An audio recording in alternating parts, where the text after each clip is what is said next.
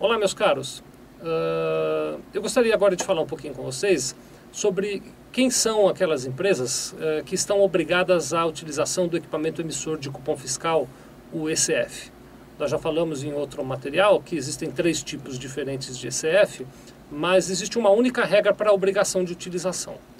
Uh, já é, vem de muito tempo a tese de que todas as uh, empresas varejistas deviam utilizar o equipamento emissor de cupom fiscal. Mas isso virou regra, virou lei no ano de 1997. Uma lei federal determinou que todos os estabelecimentos varejistas, ou seja, aqueles que vendem diretamente ao consumidor e que vendem produtos, mercadorias ou serviços, estão obrigadas à utilização do emissor de cupom fiscal. Então, como regra geral, todas as lojas são obrigadas a ter um equipamento emissor de cupom fiscal, um ECF. Uh, ah, existem algumas exceções a essa regra. Basicamente, as exceções estão concentradas naquelas empresas que têm um faturamento anual menor do que 120 mil reais. Então, se você tem uma loja que fatura mais do que 120 mil reais por ano, você está obrigado a ter algum dos três tipos de equipamento emissor de cupom fiscal dentro do seu estabelecimento. Bom, aí alguém vai perguntar o seguinte, mas eu estou abrindo a minha loja agora, estou iniciando as minhas atividades, eu só não sou obrigado a emitir o cupom fiscal, né, a ter um equipamento emissor de cupom fiscal. A coisa é assim, então.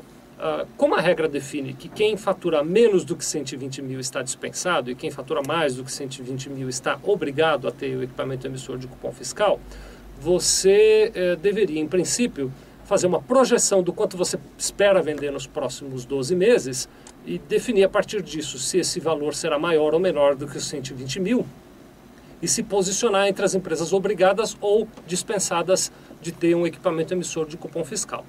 Na dúvida, é claro que você pode simplesmente não ter o equipamento emissor de cupom fiscal.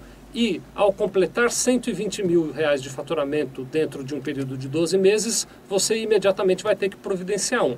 Então, em resumo, ou você, uh, sabendo que vai faturar mais do que 120 mil, já providencia desde logo, logo na abertura da sua empresa, o equipamento emissor de cupom fiscal, ou você uh, trabalha sem o equipamento até que você se enquadre na regra de faturar mais do que 120 mil por ano e aí sim ser obrigado a ter o equipamento.